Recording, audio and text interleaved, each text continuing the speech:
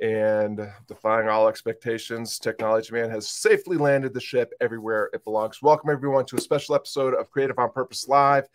In this series of episodes, I am getting together with some of my friends and mentors whose ideas have influenced and inspired some of the ideas in my latest book, The Coaching Business Prescription. I'm here with my friend and mentor, Seth Godin. Welcome, Seth. Great to have you with us. Uh, please tell our viewers that the one viewer that doesn't know who you are, who you are, what you're up to these days, and where can people go to learn more about you and the difference you're making. Okay, so for the other viewers who do know who I am, I will take my allotted time to say the following. Watching a video about your book is not the same as reading your book. And if it's worth your time to watch this conversation, it's worth your time to go click the link and buy the book right now. Because the idea that we can get an idea, just one, from spending a few minutes at our own pace working our way through a book is priceless don't hesitate. Just go do that. Thank you very much, Seth. I appreciate that. Well, the idea that I there's there's kind of three ideas. Two I attribute directly to you, and one um, is someone else's, but I learned from you, and they're all around this idea of going small, which uh, is counterintuitive and uh, definitely in defiance of all the gurus who are, you know, the sultans and sultanesses of scale. Um, and the the primary so it's talked about in the book but it changed my life when i came across your idea of first 10 and i'll explain how it changed my life but i'd like for you to first share a little bit about what does what do you mean when you say get your first 10 okay so for context it wasn't um, as frustrating to live in 1975 because Walter Cronkite wasn't going to put you on the news and you weren't going to get called by CBS to make a television show. So there was this huge gate and there were gatekeepers and you weren't getting through it. So you could go back to doing what you were doing all day. And part of the seduction and indoctrination of social media was everybody has a camera, everyone has a keyboard. The only thing that's keeping you from being famous to everyone is your own laziness. And that helped people fall in love with the path of being a Kardashian. And the problem, there are two problems with being a Kardashian. Number one, we didn't even need one Kardashian. And problem number two is we already have one now. So we don't need a second one. It feels like if you have an infinite number of followers and attention being paid, it doesn't matter if only a tiny percentage care about you. That's still a big number. So, first 10 is a response to that. It's a response to people who say, well, I have to spam everyone. I got to get the word out. Well, actually, no. What you need to do is tell 10 people, 10 people who already trust you, who already know you, who are already in the group that needs the work you're doing. If you tell that your idea, if you share it with 10 people, write your novel, just give it to 10 people. If they spread the word, ask for more, tell the others, you got it right. If they didn't, you either have to make better work or find different sorts of people. But taking your probably mediocre work to ever more people isn't the solution. And you know, the evidence is really clear. The average video on YouTube is going to be seen fewer than 5 times today. Probably zero. That's the average. I love it. So we've got some uh, names that you'll recognize from a purplish space that you and I frequent um, that are liking the conversation already. And yeah, so the, when when I, I, I think it was in the marketing seminar that first 10 might have come up, come about. Maybe it was in the alt mba but the thing that that flipped the switch for me was uh, because we're all programmed by nature and evolution to chase more and we are also um, and it's a seductive way of hiding. Like it, it, if we just keep chasing more, it prevents us from doing the better work that is necessary to get actually more of the right people. But this idea that all you need is 10 to get started is how I wrote my first book. Um, there's a, a story between Seth and I there that I, I won't bore you with now. I've talked about it many times. Um, but the very poorly named Stoic Creative was put out on a Amazon sales page and 10 people said that they would buy it before I even wrote it. And that put me on the hook to write the book. And the book was written. And then, of course, a few more books were sold after that. So just that idea that you could validate an offer, an idea, a creative endeavor by just getting 10 people to raise your hand and say, Yes, I would follow you on this journey was really, really powerful. And then there was this other idea that uh, you unpacked definitely in the marketing seminar, uh, which is the idea, and it's associated, I think, with First 10, but the idea of the smallest viable market. And when you talk about that, Seth, what specifically are you talking about it, and why is it the better approach than the, the scale approach of most of the gurus? Okay, so I want to just put a pin in a couple things. The first one is this idea of getting or being small as opposed to seeking scale. I almost never embrace the word small when I have the ability to use the word specific instead. the problem with trying to be big is you have to be general and you have to be average. The, the scary thing about the smallest viable audience is you have to be specific. If you can only pick 200 people that you're going to amaze, that you're going to create something remarkable for, if you're going to name them, you're on the hook now because you got to pack the house with the best people. If it doesn't change their life, that's about your work now. Whereas if it's a big, big crowd, you can say, well, it's on them. No, it's on me because I picked this viable audience. And what it frees us to do is not only are we on the hook, but we don't have to constantly dumb it down, speak in uh, complete sentences, and leave out the you know the jargon we can say for the people like us who get where we are going this is what we are doing. This is what things are like around here. It brings enrollment with it. And that shift is critical because it lets you do your work. And there's all this pressure to average it out and dumb it down and make it more convenient. But the people who succumb to that pressure almost always fail. Someone's going to succeed mm-hmm. but it's probably not going to be you so I love that, and I appreciate the the the pointing out of the specificity. If there are a hundred people, they know you and you know them, and everyone's on the hook. Uh, everyone knows when someone is missing from the room, uh, and but I think the other thing is it becomes sort of a leverage point, a force amplifier for um, taking, at, at least in my experience, I tend to be uh, I, I have the thing that I want to do, and I have the thing I want to create, and I want to create that thing, and then I want to give it to you. And instead, when this this dynamic that you are suggesting, it's like, well, instead of starting with what I want and what I want to do, why don't I turn my attention to you? What do you need? What where do you want to go? Where are you right now? And how do I help engineer or how, how do I help um, us co-create a path that will help you get from where you want to where you want to be that leverages my skills? Except you got to you left out the key step. You get to pick the audience. So if you show up uh, at a, a, a cannibal convention and ask people what they want for lunch that was your choice to show up at the cannibal convention. So you don't get to complain afterwards about what that no one was a vegan right that when you get to pick the people you are choosing your future. Choose your customers, choose your future.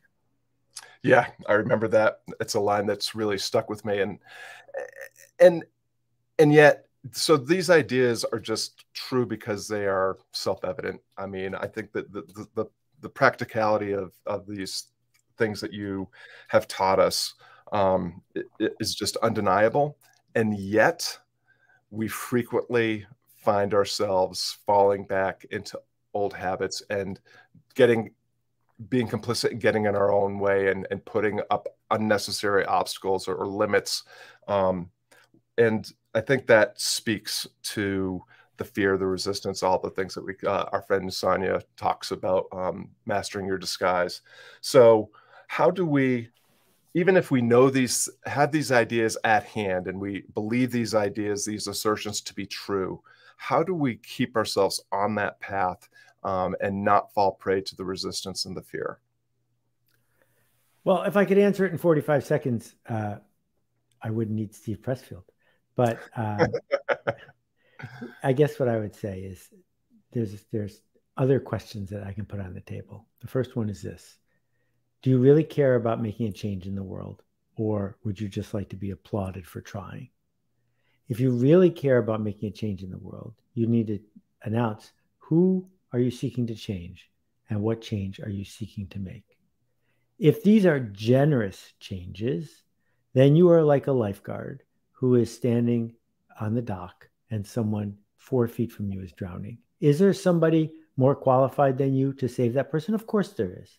There are people who did better at their water safety test and everything else, but they are not standing where you are standing. They are not in the space you are in. You are. So if you're serious about being a lifeguard, you better jump in the water and save the person. So if the shift we seek to make is a generous one, if you believe that your jazz quartet is going to make a difference for the people in the audience, well, then you're doing it with and for them. You're not doing it just so you can buy yourself grilled cheese sandwiches. And as a result, you need to get on stage because if you don't, those people aren't going to get what they need. And that shift from introspection to generosity has always been a powerful force for me. When I started, I was trying to pay the bills. And the harder I was trying to pay the bills, the worse I did. And when I was able to shift and say, I picked you as my customer because I think I have something you need, things got much better. Yeah. Well, and it speaks to the, you know, so sometimes I think we, we ignore the advice to take the specific approach and take small steps into our potential and, and possibility um, because then we build in deniability if we don't achieve. I mean that's one of the biggest dangers i think of defining success is once you've defined what success me- looks like for you you've just defined the infinite number of ways failure looks like to you. And it's uh, and it, it can be very fraught which speaks to something else that you talk quite a bit but about. hold on to that thing. Oh, hold sure. on to your question because first, I'm thrilled that folks are here engaging with this. And I know it's easy to feel insufficient in the face of all of the leverage and choice that we're describing here, because no one can say no if you get rid of the gatekeepers. I'm not name dropping here because I'm not going to drop the name. But last week, one of the most famous people in the world came to see me for coffee with his producer. And I just described to them for 20 minutes what you and I talked about the thing he did that made him famous happened 49 years ago. And you could just see she understood it. And he refused to acknowledge that any of this mattered. He just wanted to know where does he find the publisher for his autobiography and where does he find the producer for his Broadway show? And I'm like, there isn't a publisher who's going to take your autobiography and there isn't a, a producer who's going to take your Broadway show. What you're going to need to do is find 50 people where you can do your work that will change their life so much that they will find you 50 more people. And you have to do that again and again. I know you've earned the right to not want to do that. I know you've paid your dues. I know that the next thing should be like that first thing was. It's not going to happen. So if it's that's the position he's in, don't be surprised if that's the position you're in. Right. And it's that the, the the receptivity, like how keeping the open loop. You know we are we are designed to close the loop. We want to google the answer. We want we want the roadmap. We want the system. We want the formula the secret uh, key whatever it is and it, it, we refuse to we're not programmed to leave that loop open. And and i think we also fail to recognize how important relationships the relationships the people we surround ourselves with um, you talk a lot about affiliation, and I think affiliation is built into some of these ideas like first 10 and smallest viable market.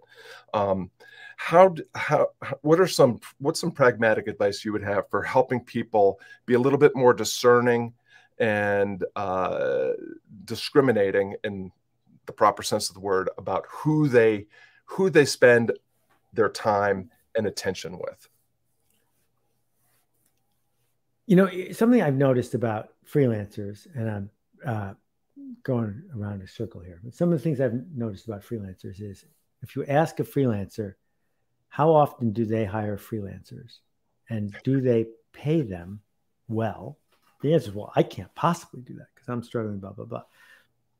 And so we have this mindset as we struggle that the customer is someone else, some philanthropy minded person who's going to pick us and give us the runway to get to where we're trying to go.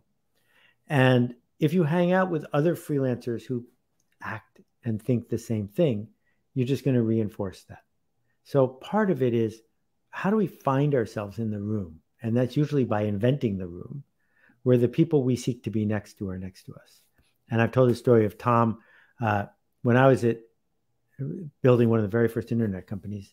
AOL was our biggest customer, and they had a conference and they invited their hundred biggest vendors to come. And Tom took a suite with money he probably didn't have, and he invited eight of us to come hang out that evening. And we all shared our contracts and we all shared everything we knew, and we didn't hold anything back.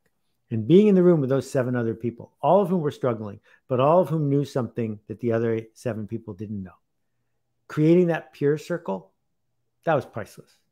And one of the reasons Silicon Valley works is not because there's a geographic reason for it to exist anymore. It's because the other people are right there at Trader Joe's. They're right there at the gym. And you can organize that. You can figure out who do I need to be around who's going to push me into a discomfort so I can level my game.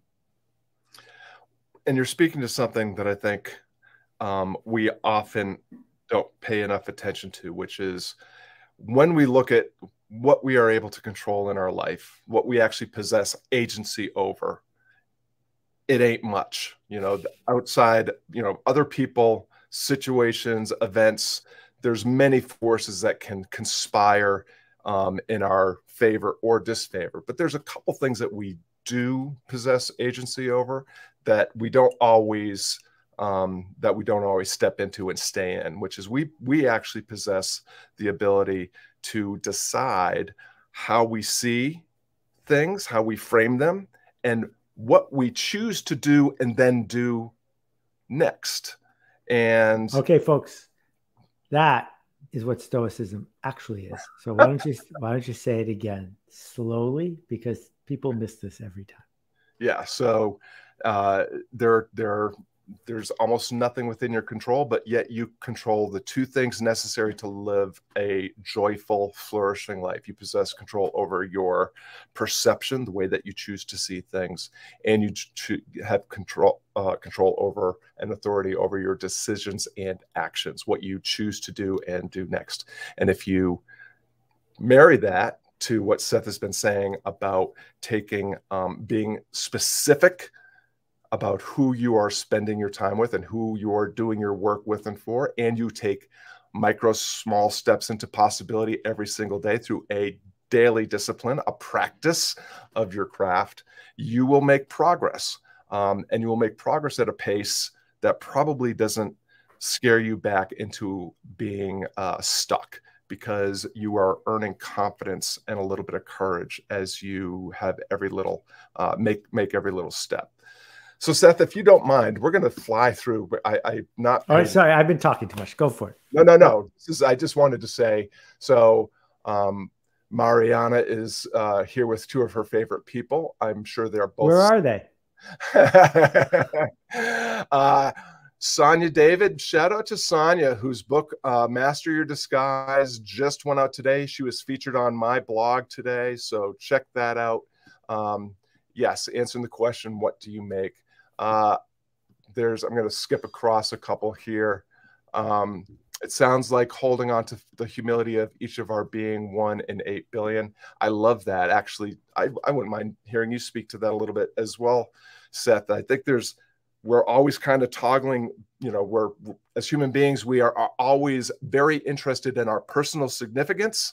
Um, and we are always um, aware of our cosmic insignificance at the same time. How do we how do we balance uh, or not balance but how do we find harmony with those two ideas? Harmony is different than consistency right? Harmony is about two things that don't match that fit together well enough that we can make music with them. We can't help but be witness to what's in our field of vision. There are people on other planets, not people, uh, species on other planets. We have no idea if they're suffering. We have no idea if they just had a flood. But we can see with our own eyes what happened to our neighbors or to our friends in Hawaii or somewhere else. And it's very easy in those moments to feel powerless, to feel bereft. If it causes you to take action that makes those people's lives better, then that's worth it. If it doesn't, if it's just part of your narrative of endless doom and gloom, well, then what's it all for? What we have is a very limited period of time to make a difference for other people. And what Western culture has indoctrinated us into doing is beating the others and acquiring a bigger pile of stuff by trading our time and our, our joy for it. And I think a whole generation of people is waking up and saying, we're tired of the caste system and we're tired of the status game and we're tired of the accumulation. What can we do instead to make things better? Yeah. Quick uh, final shout out to Sonia, who is grateful for the shout out. Uh, there's a name that will be familiar to Seth. Uh, we have um, I'm Imen. I, I hope I'm saying that right. And then uh, Tom Trainer, always too kind, Tom. We appreciate you. And of course, there's another name you might recognize, Seth. There's Penny. Um, so you spoke to this idea of making a difference. Do it and doing work that matters is probably that phrase alone is what drew me into the alt MBA back in August of 2016. This idea, and because I think if we can just nudge on over to a topic uh, or, or to your book, um, we are creatures that are in search of significance. One of the, the perennial books of all time is Man's Search for Meaning by Viktor Frankl. We are meaning seeking creatures. Um, and one of the ways that we can do this is doing work that matters, making a difference, to use some of your terminology.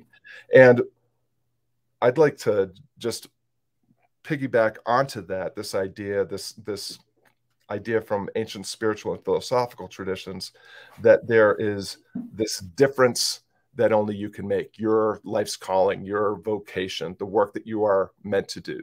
Um, any insights on you know if you're if you're going to do work that matters how do you find how do you align that with um, the work that you were meant to do or the gift the net the gifts that you have? Well I learned so much from when I talked to you, but also you're great at driving StreamYard. People can learn a lot from you. And also, you're great at setting me up for things that we can actively disagree on. I don't believe anybody has a calling. I think our gifts are limited to things that uh, probably don't line up with vocations and professions. And I think that we let ourselves off the hook when we say, I was born to play the clarinet in a reggae klezmer band. And if I can't do that, I'm giving up. You weren't born to play the clarinet in a reggae klezmer band. You just weren't. These are choices we make based on the cards that are in front of us. Van Gogh was not would not have been an oil painter if he was born 20 years ago or if he had born been born 200 years before. Same parents, same DNA. No, that was a situational choice. And if the choices you are making aren't getting you the results you seek, we can rail against the unfairness of the universe because it is unfair, or we can make different choices. Mm-hmm. And that is at the core of what I've learned from you about stoicism is stop talking about your calling. You who's calling? No one's calling. You have a chance to speak up and offer. Talk about your offering. And if you can make a different offering that's going to help more people in a better way, please do. And this is super critical. We quit things our whole lives. Very few people who are on this call still wear a tutu and take ballet lessons, and very few people on this call are, you know, doing uh, five cent magic tricks. We did that when we were six years old. We don't do it anymore because we made a choice. And the problem with this buffet that's in front of us of all of these choices is they overwhelm us, so we don't make any. And the idea of local leadership which I think is different than the denigration of leading from the bottom. Bottom of what? It's local. It's local because we get to, to assemble the circle. It can have a huge impact. Alcoholics Anonymous started with 12 people. We don't even know who's in charge. It's anonymous.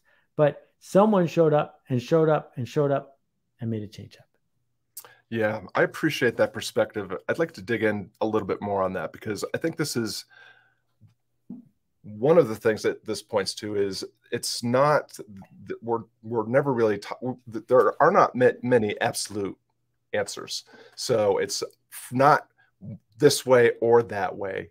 Many times it's a both and, but that idea that vocation or purpose, let's talk about that just for a second.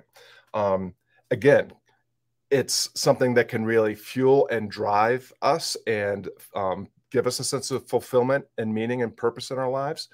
Um, and it's something that we can use as a seductive way to hide from our limitless potential and our inner greatness. And one of the things that I have found is that when I stopped thinking about purpose as a destination, something out there on the horizon that I had to go, like I have to go find my purpose and then I'll figure out what to do with my purpose, or the other approach, which is to look within and excavate your purpose from inside you and then figure out what to do with it. But instead, treating purpose as an emergent, um, emergent thing, um, which I think is speaking a little bit to what you're talking about, which is if I simply bring purpose to the work I'm doing, the work right in front of me, to the conversation I'm in, to the relationships that I'm in, if I if I bring intention and I bring integrity to the things I'm already doing, purpose, passion, all these things that we're often chasing uh, to uh, and and causing making us suffer because we can't find them and we can't and we're clinging to these ideas they disappear they become emergent properties and then the journey becomes the reward as opposed to that result or outcome that we've been chasing to no avail. Yeah, I think that's very smart. Here's the thing if you have a mission or a purpose, show me how it is helping you make difficult decisions. So Johnson and Johnson has a mission statement, but they're lying. That's not really their mission. If it was, they could point to difficult, expensive decisions that they have made based on that. Actually, their purpose is to maximize shareholder value and to please the boss by doing something the boss wants them to do. Those two things fit their narration all day long. And the same thing is true for individuals. We reverse engineer what we say our purpose is based on what we think is going to make our decision easier going forward. So, you know, I've had this really lovely, luck filled uh, career 35 years or so of being in some sort of media. But when I was in the computer game business in 1982 or three, oh, my purpose was to help science fiction authors bring their work to life in interactive stuff, right? Because I knew these guys, Michael and Ray and things. So I had to make up a story about that was my, well, I haven't done anything like that in 30 years. So what had happened to my purpose? So when Sonia asks about gifts. If I had been born in a different country or at a different time or with a different skin color or a different appearance, I am certain my life would have been very different. So the, the my limited attention span, which I think of as a gift, would have doomed me if I worked on a farm in 1941. And so we've got to just decide we have a bunch of tools. There's a tool chest. Sometimes we have resources we can go and buy new tools with what are you building? Are you which marble are you taking away so the statue will be left when you're done?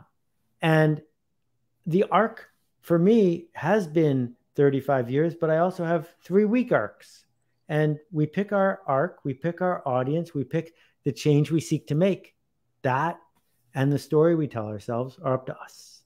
And if your if your excuses are helping you, go for it. And if they're not, then what are they for? Yeah, well, it speaks to the the uh, you know another misconception I think that there is that purpose is a singular thing. Like you're only meant to do one thing, and that's probably not true. we you know we we are iterative, evolving creatures. We go through seasons and and different phases of our lives, and I, I'm of the conviction that purpose is not singular. That we can purpose can evolve day to day, situation to situation, role to and uh, goal to role to goal. Um, but it's uh, purpose almost becomes for me more of an attitude and a posture, a way of approaching doing whatever it is that you yeah. need to do right, right, now, and it becomes a um, uh, renewable or renewal renewing property. It's just more bringing purpose to what you do begets more purpose, and then you can bring that into your work. So we got off on a on a great um, tangent there. I appreciate that. This is as as the founder of Creative on Purpose, Seth. You know, purpose is a topic near and dear to my heart. I have missed a bunch of the um, people that have been leaving comments here, and I apologize to all of you for that. Um, I'll get to you in the comments, but I want to be respectful of your time, Seth. Again, this idea of first 10, smallest specific viable market. Um, these are ideas that I have found to be profoundly useful in the building of my own business, but uh, and and there are things that are taught in the book.